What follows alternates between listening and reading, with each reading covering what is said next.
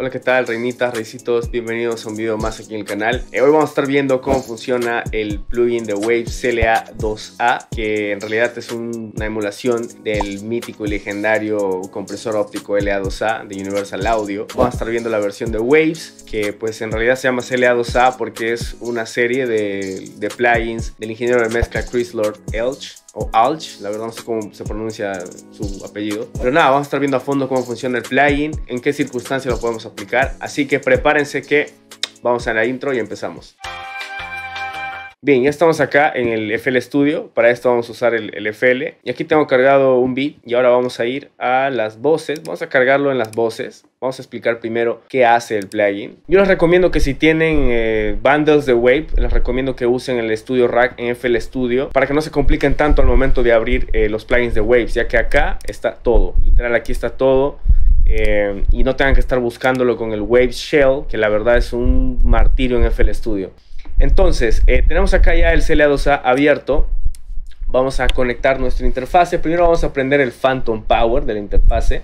Ok, prendemos el 48 voltios. Ya vemos que ya está. Ahora voy a seleccionar mi entrada. Voy a seleccionar acá. Voy a seleccionar aquí el canal, Track Mode, Audio Track y voy a poner eh, Voice. ¿no? Vemos que ya está recibiendo señal Hola, sí. Pero primero voy a explicarles un poquito de lo que hace este plugin. Tenemos acá las dos perillas principales, que es el Gain y el Peak Reduction, ¿cierto? En el medio tenemos un búmetro, ¿ok? Que nos marca pues eh, lo que dice acá, el búmetro display. Dice acá el GR que es Gain Reduction, o sea, la cantidad de ganancia reducida, ¿ok? O el input o el output nos puede marcar. Podemos elegir qué eh, va a marcar. Pero yo lo prefiero dejar en Gain Reduction y les voy a explicar por qué. Bien, en el botón de Gain, básicamente lo que tenemos es un botón de volumen. Vamos a llamarlo así para que lo puedan entender todos. O sea, que literalmente puedes subir o bajar el volumen o la ganancia de la señal que está en el canal, ¿ok? Y el peak reduction es básicamente la reducción de los picos de esa señal. Entonces, ya sabemos ahora lo que hace literalmente el peak reduction. Digamos que tenemos la señal de audio de esta manera, ¿ok? Tenemos la señal de audio pasando así y el peak reduction es literalmente en cuanto seteamos ese umbral, ¿no? Ahí, ahí, ahí, en cuanto va a comprimir la señal de audio. Ahí, ahí, un valor más alto obviamente va a comprimir más. En cero, pues lo elevamos a cero decibeles, no va a comprimir absolutamente nada. Entonces, eh, básicamente eso es lo que hace el peak reduction en la señal. Luego tenemos acá eh, una perilla, una perilla que dice compress limit. ¿Qué significa? Pues que podemos poner el eh, CLA2A en modo compresor o en modo limitador. Yo les recomiendo que si quieren tener voces limpias, ¿no? O lo que sea que estén comprimiendo, lo dejen en compress. O también pueden probar el modo limitación, o sea, no pasa nada, también está bien. O sea, es cuestión de probar también, ¿no? De experimentar. Luego tenemos acá lo que es el analog. Básicamente es un ruido, un ruido que em, emula al compresor original, ¿no? El cacho original tiene un ruido, como un ruido blanco, por así decirlo, ¿no? Que te permite poner en 50 Hz, 60 Hz o apagado. Yo lo recomiendo que lo dejen apagado, ya que estamos comprimiendo lo que sea que vamos a comprimir digitalmente.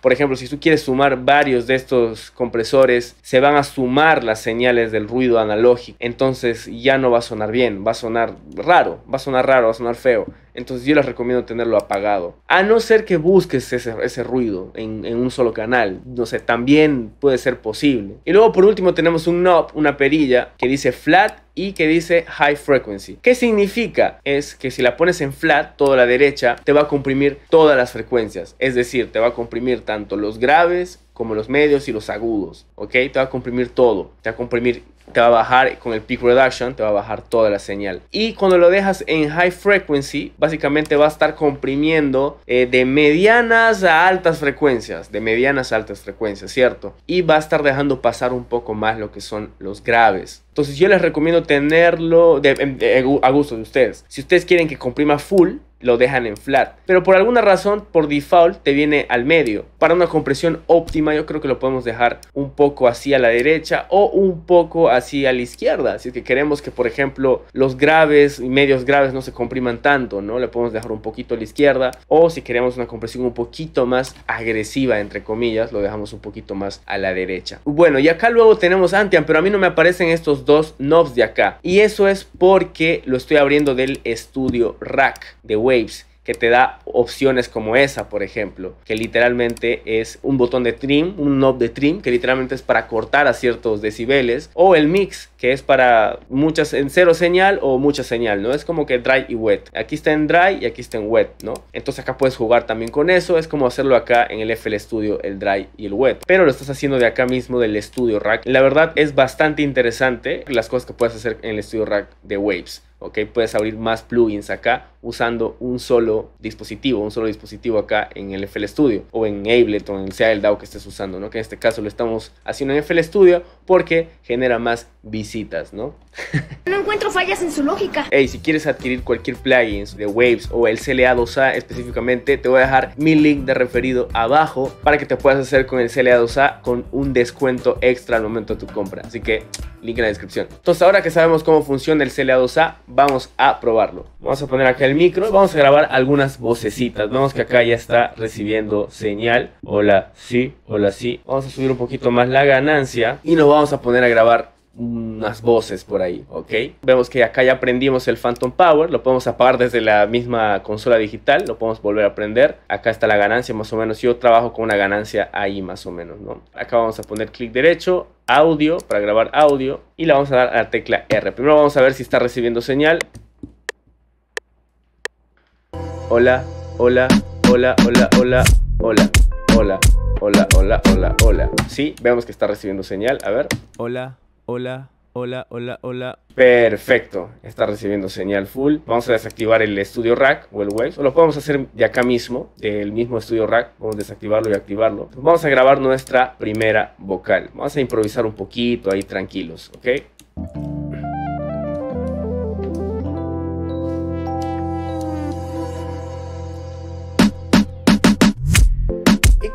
Que tú quieres llamarme para siempre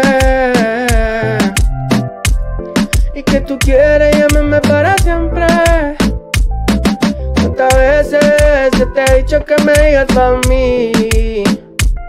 Es tus amigas que te llaman en contra de mí. No. Perfecto, ahí tenemos una vocecita ya. Vamos a poner acá el autotune. De hecho, para demostrar la eficacia del Studio Rack, vamos a poner esto acá. Y acá vamos a poner, eh, vamos a escuchar, voy a apagar esto. Y acá voy a poner el pitch shift, voy a poner el Waves Tune Real Time, ok.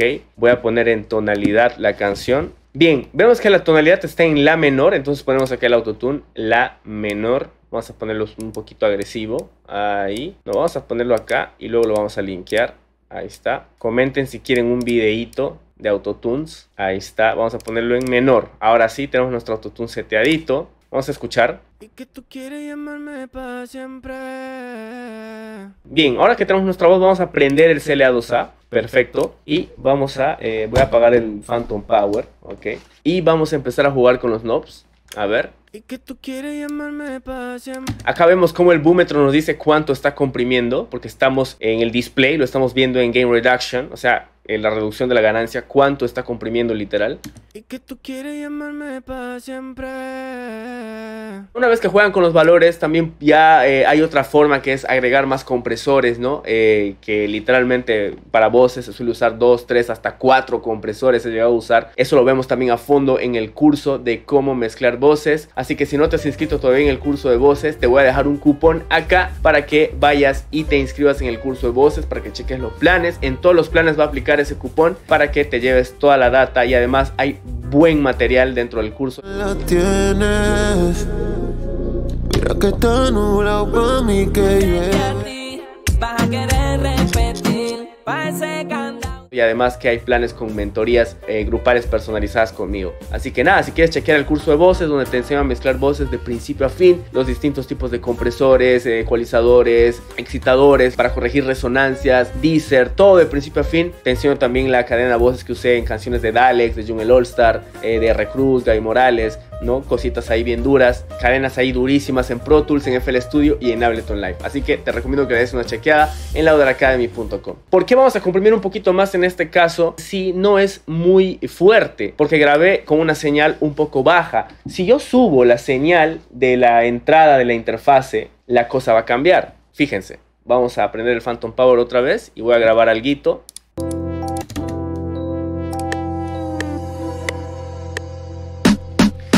amigas te llaman como dentro de mí. Oh no, yeah. Tus amigas ya no votan para mí. Yo quiero no verte. Ella no sabe, es como siente. No, no. se fijan ahí cómo cambia la intensidad, miren la diferencia de señal. Entonces acá hay un pico un poco fuerte y de hecho vamos a aprovechar ese pico para usar el compresor. Vamos a aprovechar el pico para usar el compresor, ¿ok? Vamos a desactivar el eh, CLA2A. A ver, vamos a desactivarlo.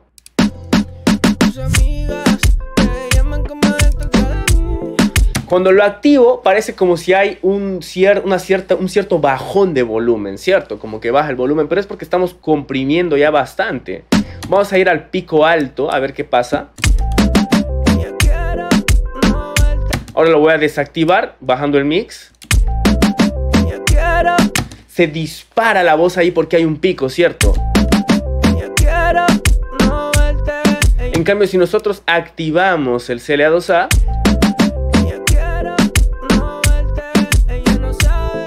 Y es como que todo lo pone a un mismo volumen prácticamente. Entonces, lo que voy a hacer ahora es recuperar el volumen que siento que he perdido. O simplemente, eh, si, es si hemos grabado una ganancia baja, podemos eh, darle volumen con el botón, eh, con el knob de gain.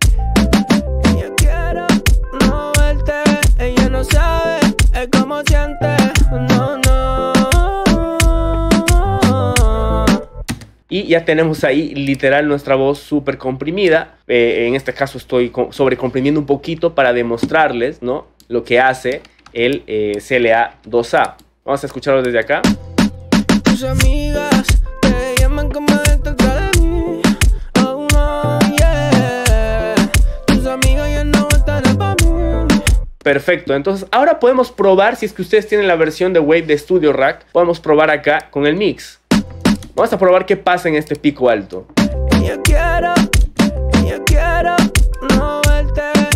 Vemos que dispara un poquito el pico alto ahí.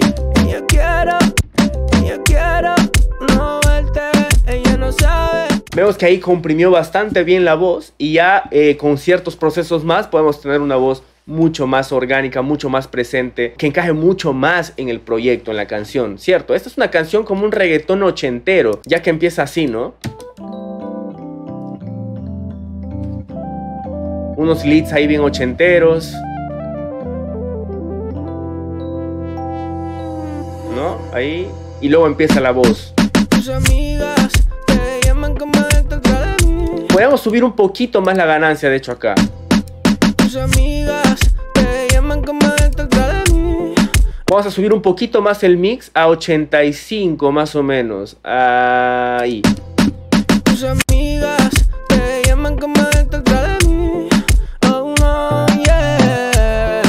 Bien, entonces ya estamos viendo cómo la voz se siente mucho más presente, a diferencia que si nosotros lo apagamos, vamos a apagar el CLA2 acá y vamos a escucharlo sin la compresión.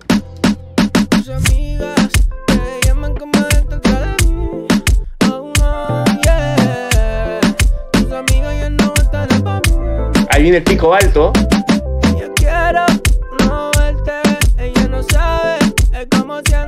Ahora otra vez con el CLA2A amigas te llaman como detrás de mí. Oh no, yeah. Tus amigas ya no están para mí. Yo quiero no verte. Ella no sabe, es como siente.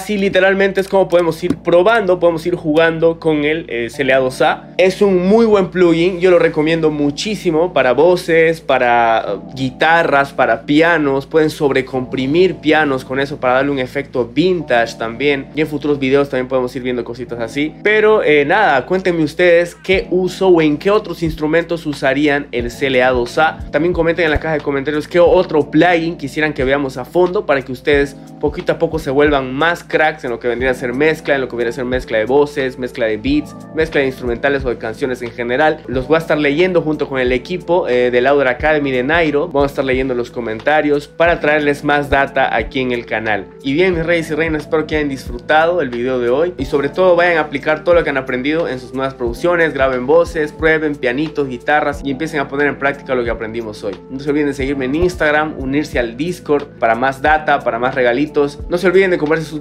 saludos a sus abuelitas y sobre todo cuiden el planeta. Nos vemos en el próximo video. Adiós.